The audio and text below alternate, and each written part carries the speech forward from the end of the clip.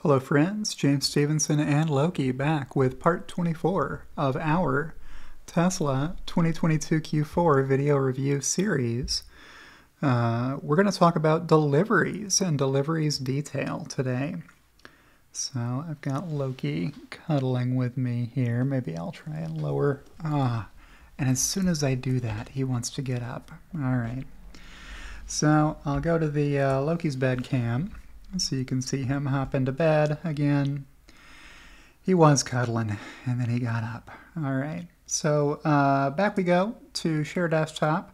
Look at that. Uh, this is going to be really, really old news by the time this video plays. All right, let me bring up the uh, uh the earnings. So uh, it'll be really, really old news for you unless you follow me on Patreon, in which case you're you're seeing it today because uh, I upload uh, all of my videos in advance. I can only record on the weekends on mornings, so that's when I record videos. And then on the same day that I upload them, I post them to Patreon. So my Patreon supporters get early access to all of these videos that you're watching before they are published to the public. I have to do it that way because YouTube uh, has an algorithm that punishes you for publishing more than one video per day or at a time. Uh, so I need to space out the videos, one public release per day, uh, so that people can see them. Because if I post a lot of videos publicly, uh, YouTube will just pick one of them, whichever one is uploaded most recently, and promote that one and not the others. So that's the story there, and one of the benefits that you get if you support me on Patreon. All right, uh, so here's what I have forecast for 2022 Q4 for total Tesla deliveries by site and model. Uh, so for the Fremont Model S, I have a little bit more uh, Tesla Model S deliveries than we saw in Q3. Now, how did I get these two numbers separately for Q3? Because Tesla doesn't report at this level of detail. I have to guess. That's the answer. I have to guess at what the distribution was between these two. So I'm guessing uh, that the total sum, 18,672, uh, was broken down like this, with uh, Model X uh, deliveries ramping up some as the quarters go by, and Model S being more stable. So that's my breakdown for these two for Q4, and what I expect is a combined 20,825 deliveries. That's the only number we'll get uh, confirmation on is the combined number of S and X globally. Then for Model 3 and Y, I've got the breakdown by site and by model here. Uh, Tesla's just going to report the total number of Model 3s and Ys combined globally. I sure wish they would break that number down more, but they don't, and we don't always get what we wish for, and that's okay. But uh, for Fremont Model 3s, I'm forecasting fewer of them being delivered. And for Fremont Model Ys, I'm forecasting fewer of them being delivered as Tesla unwinds the wave.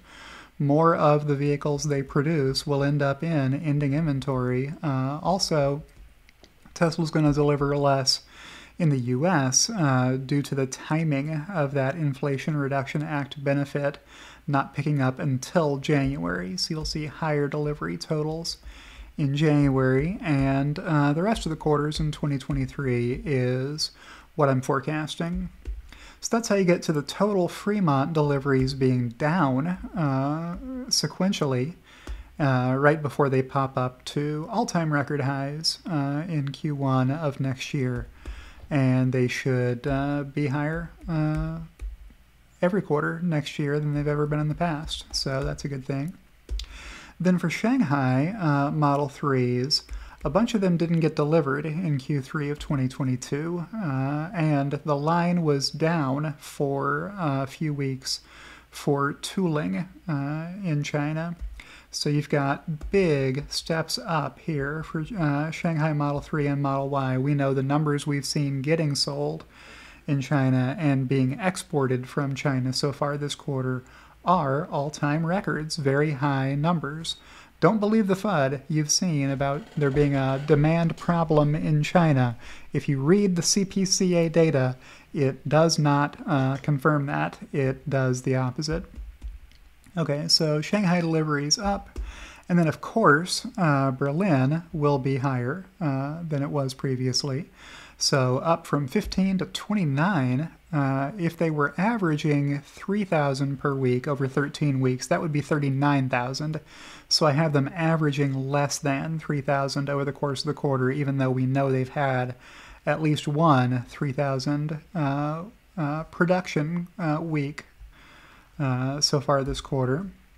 Then for Texas Model Y, I have them a little lower. They're a little farther behind on the curve, but I have them catching up. Uh, so these two should be ramping up more or less in tandem uh, throughout 2023. Uh, from 30,000 to 45,000, 60,000, 75,000, 90,000 ish. Something like that is what I've got in my forecast. So that's how you get to. Oh, yeah, and then I have eight semi deliveries. So we know that number's low because the news out of Tesmanian was that 34 Tesla semis have been delivered already.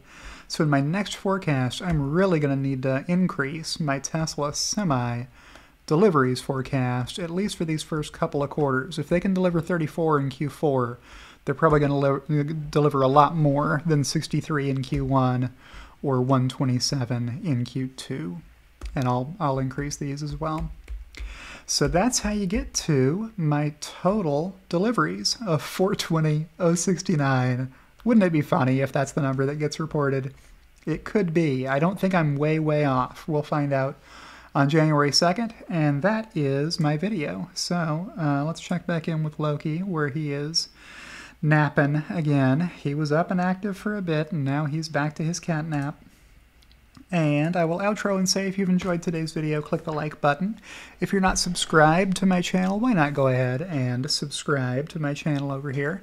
And click the notification bell to get alerted when I post fresh content. And uh, if you'd like to support me, you can do that by just clicking the like button or leaving a comment saying attaboy that works. Um, or you, my recommended way of supporting me is through Patreon. As I mentioned earlier, you get a lot of benefits that way.